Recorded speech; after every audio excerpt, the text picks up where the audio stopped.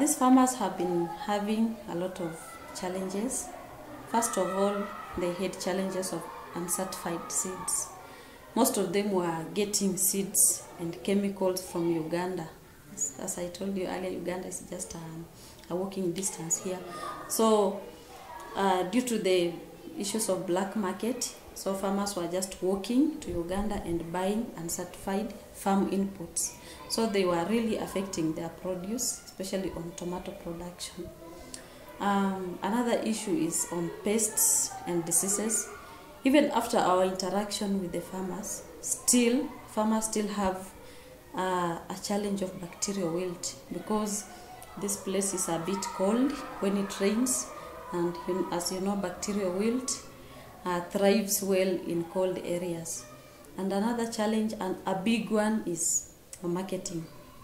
And that one is not only to the tomato farmers, but the whole of Kenya and I think the whole of Africa. We are having a challenge with marketing of the farm produce. When we started now interacting with them fully, they organize themselves into producer organizations or producer marketing organizations whereby they are able to get information or trainings as a group and they are also able to market their produce as a group collectively. And even these middle middlemen they are also part of the, the value chain. So the farmers realize that the middleman is really exploiting them uh, he's making a lot of profits from the farmers because the farmers are unable to know the prices of their produce in different markets as per that particular period, maybe the time they have produced the tomatoes or the onions or the passion fruit.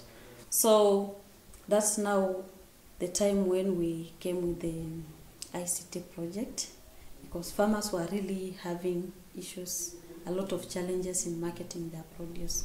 A broker can come as far as from Nairobi or Kisumu or Kitale to come and pick the tomatoes.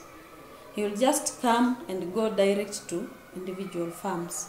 And then it's the broker who will dictate the price of the crate of the tomatoes. Farmers now have collection centers.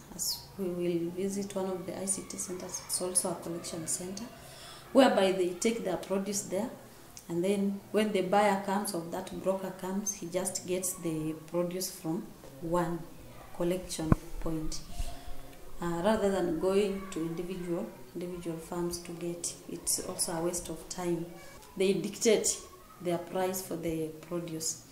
Through the ICT project, farmers are also able to get uh, market information, market prices of the produce through, through the SMS platform. It's called Frontline SMS, whereby they are subscribed to an MFARM platform.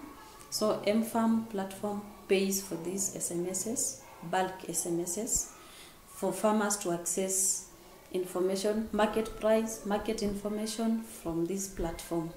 And even when they, are, they want to sell their produce, they just go somewhere and click that we have this number of uh, crates uh, in a certain place, so we want we want to sell. And then M Farm also looks for a buyer and then connects the farmers.